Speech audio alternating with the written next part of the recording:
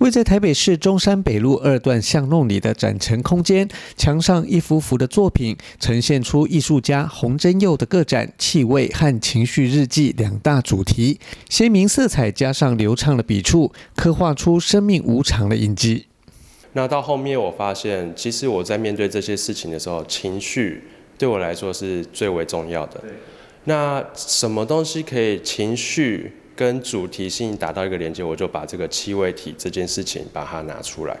所以在看我的画面的时候，时常会有呃具体的形象，但它的氛氛围都是偏向于比较自我情绪的笔触的转化。所以我就把我心中的那种小剧场，还有那种状态，把它呈现如一的呈现到画面上面。我在绘画的过程中，其实也是在不断的跟故事里面的角色一直不断的去沟通。不断的去消化所谓我的情绪这件事情，我觉得死亡它不一定是要那么深沉的，对我觉得它是可以很轻松，是生活的一部分，我们就勇于去面对它，这样子我们的平日常的这个状态才会知道怎么去过它。在艺术家洪真佑个展中，绘画作品不再只是平面的呈现，而是加以嗅觉作为创作方法。因此，画作结合了生锈铁框和柱子，散发出如血液一般的气味。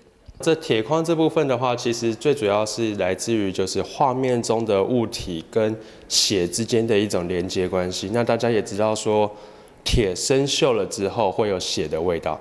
那所以，我等于是除了把画面中的气味体呈现以外，还会把所谓我们气味的联想具体化。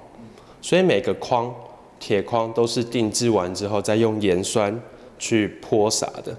那泼洒的方式都会借由绘画来去做调整。所以有些是用线条，有些是用喷洒。对，所以这样状态不一样的时候，会呈现出，我觉得那个画面的力道会再更明确一点。对。还记得那天下午，绿色石藻，青青海风，在这没有人的沙滩上，有种万物之大，人之渺小的感觉。而展览中，艺术家特别挑选了六件作品，录制语音导览服务。观众朋友在展场中用手机扫描 QR code，就能带着自己的耳机，听见艺术家的语音导览，更能深入了解艺术绘画作品的创作理念。记者许超雄台北报道。